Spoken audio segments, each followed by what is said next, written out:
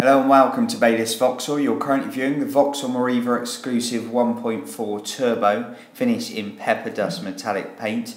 This vehicle was registered in May 2014. So we show you around the car now. We have daytime running lights as well as uh, front parking sensors.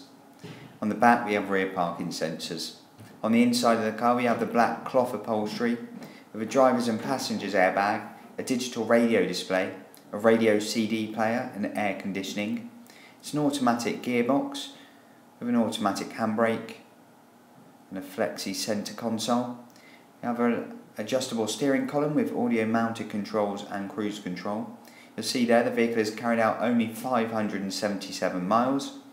There's electric door mirrors and front electric windows.